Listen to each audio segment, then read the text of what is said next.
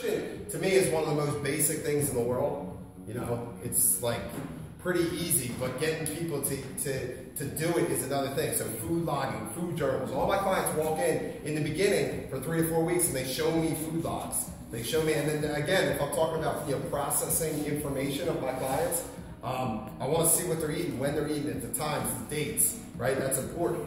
So get them eating good. Teach them that you know not to eat stuff out of the box. Keep it simple. You know, teach them to shop the perimeter. Teach them to eat stuff that that was uh, man-made from the earth. You know what I'm saying? Because that's all part of it.